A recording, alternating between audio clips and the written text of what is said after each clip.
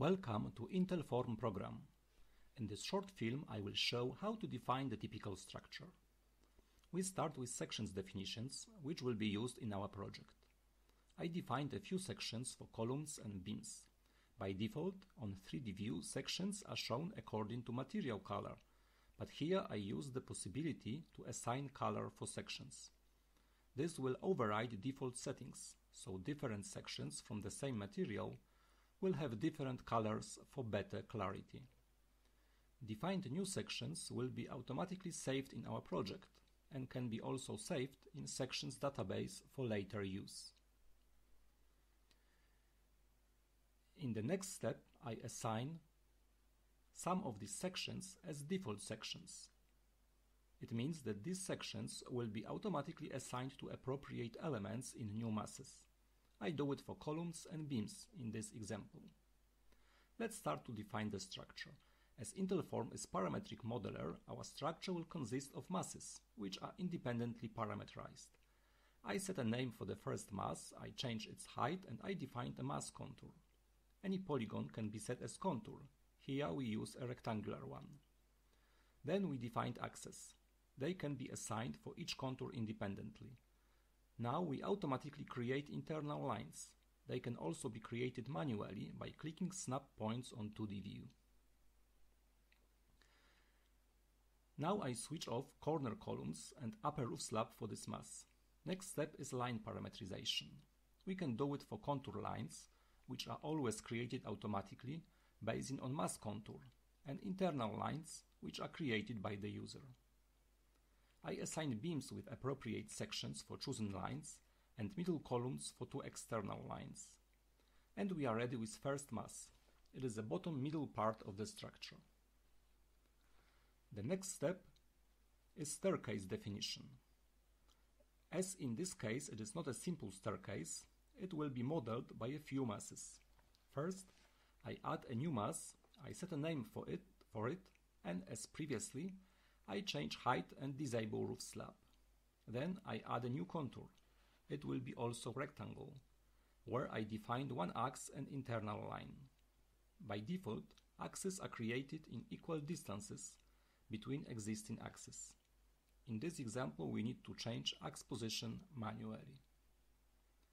Now I assign this new contour to the second mass and I change mass position by associating a contour line of one mass to appropriate contour line of another mass. When later this another mass will be moved, associated mass will be also moved automatically. Now as previously, I parameterize chosen contour and internal lines by assigning beams to them. Finally, I will move down both masses. I do it using multi-selection. Thanks to it, each mass parameter can be changed at one time for many masses. Let's go further. I create a middle part of the structure by copying a bottom part. For correct positioning, I use vertical alignment of this middle part in relation to bottom part. Then I set mass height, number of stories and color of slabs. In one mass, all stories are always parameterized in the same way. As in this mass we use the same contour as for mass below, we can also use internal lines defined for this contour, but we can parameterize them differently. Here I add smaller beams. If I would later change some axis positions in this contour, internal lines would follow this change in all masses with this contour assigned. Now we come back to staircase definition. So I copy bottom part, set appropriate height and number of stories. During mass copying, we can choose between copying the mass shape with or without structural elements. So far we always used this first possibility. For stairs definition, I will use the second one. In IgentForm, we can display all masses or only selected masses, separately or on the background of remaining masses. For stairs definition, I will use predefined template consisting of two flights and two landings. I only need to choose a rectangular contour in which staircase must be fit should be the same as previous mass contour. Stairs parameters are calculated automatically and finally I assigned stairs section as mass contour. As we need additional beams on the landings, I will use it use for it another mass with simple parametrization. First I copy mass shape, then I double number of stories and set beams on the required contour line. I don't need to worry about elements which will be in the same place in different masses. Program will automatically detect and remove such elements. We are ready with staircase. For clarity, I even changed the name of last mass. Now I would like to have a staircase also at the right side of our structure. So I select all masses that make up a staircase and copy them. Finally, as I was doing earlier, I set horizontal alignment of these masses to middle part of the structure.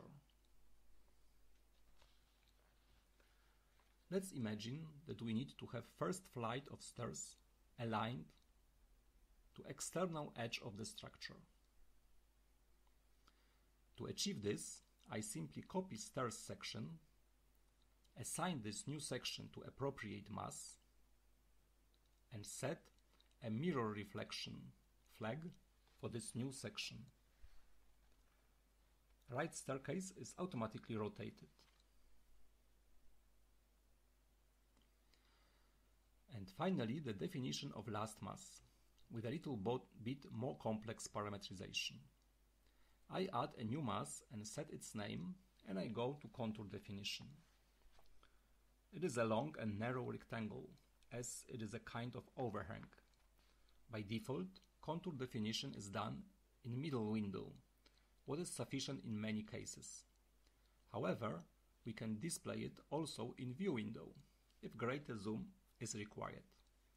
We need to define axes which will fit axes defined for existing masses. So, for some of them, I enter the coordinates manually.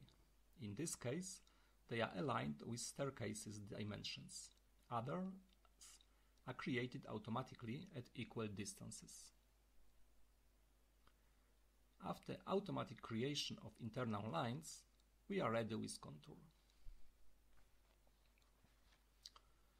Now I assign just defined contour to the mass. This mass will have one story less than the whole building, not counting underground story, so I set appropriate mass height and number of stories. Then I aligned horizontally this mass to the front face of the building and vertically to its upper surface. As this mass doesn't touch the ground, I switch on lower slab. Then corner columns parametrization. I need to change the section for smaller one. For corner columns, it is possible to switch off columns in any corner. We can do it in a small, dedicated viewer, simply by clicking on required points. Then last task, contour and internal lines parametrization. As shown earlier, we can freely switch between the whole structure view and selected masses view if we need to better track changes in chosen part of the structure. So hope, I hope you are familiar with the method and in this mass only two new things. As mass doesn't touch the ground, we need to have also beams at the level of lower slab. I do it by clicking lower beams option. To have columns on external face of mass, we can use middle columns option on required internal lines.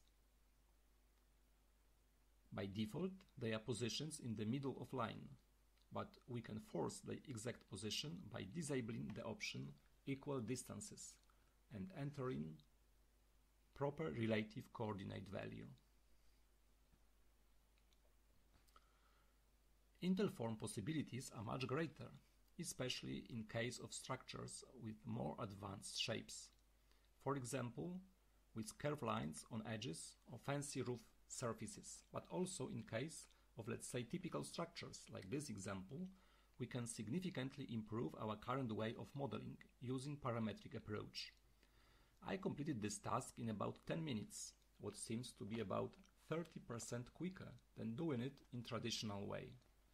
A reference example, RSA School Modeling Part 1, can be found in the network.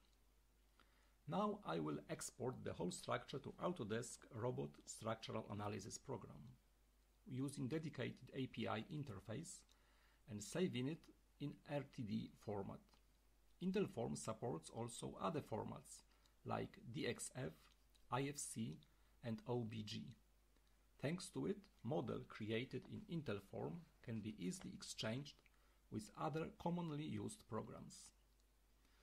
Model exported in RTD format is calculation model, so after opening it in Autodesk Robot Structural Analysis, it is generally ready for calculations. In traditional modeling, once model is created, modifications are relatively difficult and time-consuming. These modifications may come from project changes in later phases of design or mistakes in modeling. In practice, many of these operations must be done manually. If, for example, some axes change their position. Innovative parametric approach gives a unique opportunity and benefits. By simple means, we can adjust our structure to new demands. I will show two simple examples of such modifications. First, let's imagine that we would like to change a little the height of stories. I select appropriate masses and change their height. As last mass was defined separately, I also need to adjust its height. We can see that the whole structural system has been automatically adjusted to new story height. Another example is contour modification. After changing one of the contour dimensions, internal lines are automatically regenerated and we immediately get the required structural system. Thank you very much for your attention.